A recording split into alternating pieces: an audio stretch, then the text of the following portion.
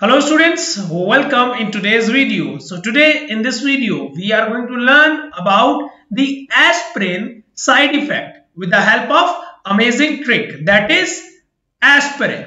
Yes, where A denotes the asthma, S denotes salicylism, P denotes peptic ulcer disease, I denotes intestinal blood loss, R denotes Reye's syndrome, I denotes idiosyncrasy and N denotes noise that is tinnitus. So students, this is all about today's video. So I hope you like this. So stay connected with Pharmacy India. Face it, fight it, achieve it with Pharmacy India. Stay tuned and thanks for watching.